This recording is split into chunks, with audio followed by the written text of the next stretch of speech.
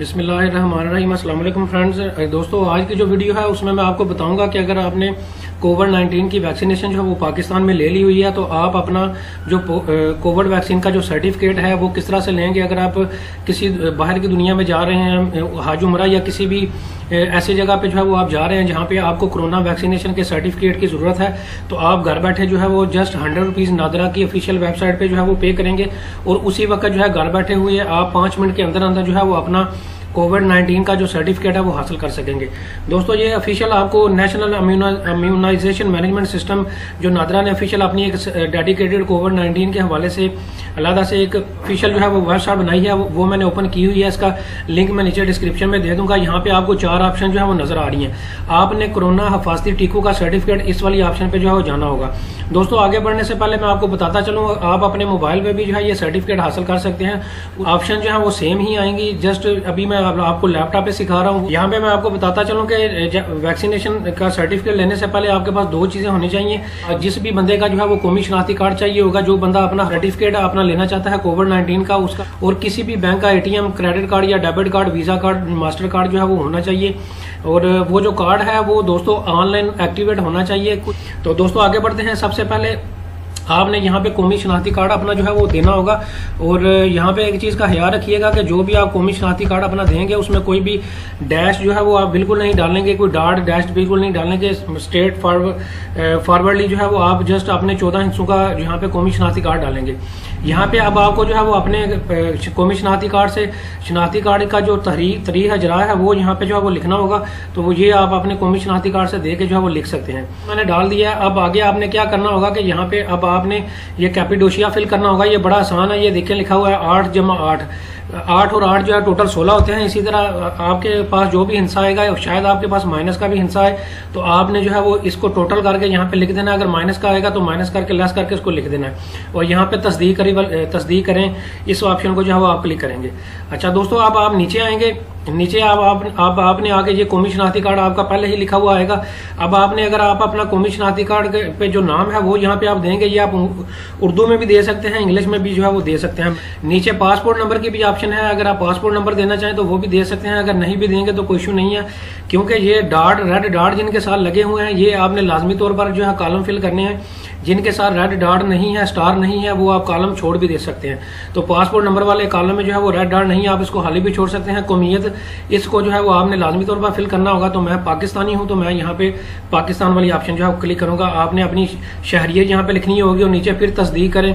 इस वाली ऑप्शन को जो है वो क्लिक करना होगा। अच्छा दोस्तों, अब आपको ये सारी टर्म्स एंड कंडीशन बता रहा है कि आप जो पेमेंट देंगे ऑनलाइन वो नॉन रिफंडेबल है तो आपने ये सारी इंस्ट्रक्शन को अच्छे तरीके से पढ़ के जो है एक्सेप्ट यहाँ पे नीचे एक्सेप्ट एंड कंटिन्यू वाली ऑप्शन को जो है वो क्लिक करना होगा। अच्छा दोस्तों अब यहाँ पे जो है अब आपका जो भी बैंक का एटीएम कार्ड डेबिट कार्ड जो वीज़ा कार्ड मास्टर कार्ड मौजूद है, उसकी डिटेल यहाँ पे देनी है।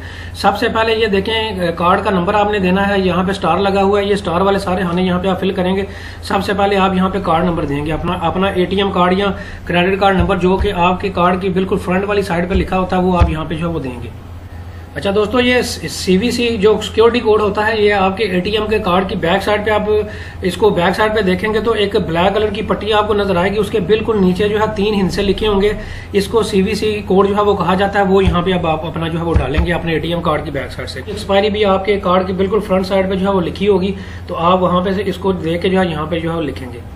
यहाँ पे आपने अपना फ़र्स्ट नेम दे दिया, फिर लास्ट नेम दे दिया। अब ईमेल एड्रेस आपसे पूछ रहा है, यहाँ पे आप अपना ईमेल एड्रेस दे दें।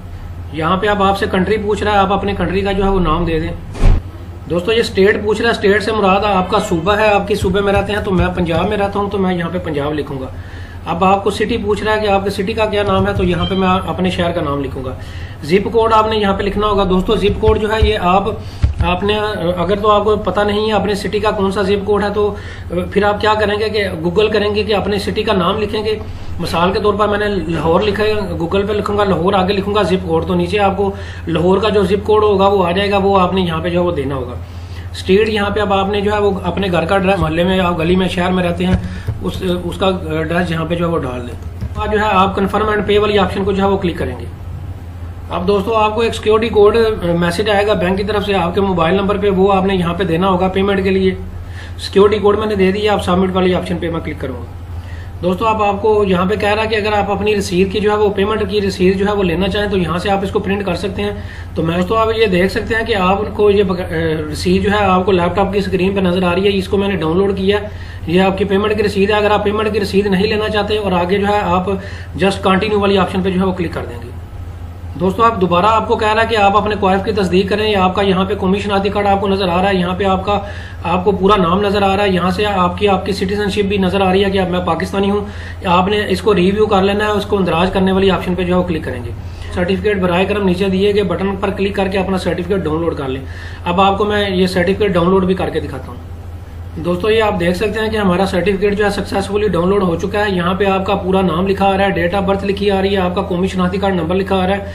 पासपोर्ट नंबर चूँकि मैंने नहीं दिया, इसलिए नहीं आ रहा। अगर आप अपना पासपोर्ट नंबर शुरू में देंगे तो आपका पासपोर्ट नंबर भी यहाँ पे आएगा। नीचे जो है आप, दोस्तों, आपकी डिटेल आ रही है कि आपको फ़र्स्ट डोज कब लगी थी और सेकंड डोज कब लगी थी। और दोस्तों, इसमें मज़े, जो इंटरेस्टिंग चीज़ है, वो ये है कि यहाँ पे ये भी चीज़ बकायदा लिखी हुई आ रही है कि आपको साइनो फॉर्म जो है, वो वैक्सीनेशन लगी है वैक्सीनेशन का नाम भी यहाँ पे जो है, वो लिखा आ रहा है। दोस्तों वीडियो के अंत में मैं आपको बताता चलूँ कि ये जो सर्टिफिकेट है, ये ज़रूरी नहीं कि आप अपना खुद से ही जो है, वो निकाल सकते हैं। आप किसी भी बंदे का किसी फैमिली मेंबर का या किसी और बंदे का भी अगर आप सर्टिफिकेट जो है ये निकालना चाहें तो आप निकाल सकते हैं। कोई भी थर्ड पर्सन जो है वो ये सर्टिफिकेट किसी भी बंदे का कौमी शनाख्ती कार्ड जो है वो दे के उसकी डिटेल दे के और अपनी पेमेंट जो है वो पे करके निकाल सकता है। Thank you very much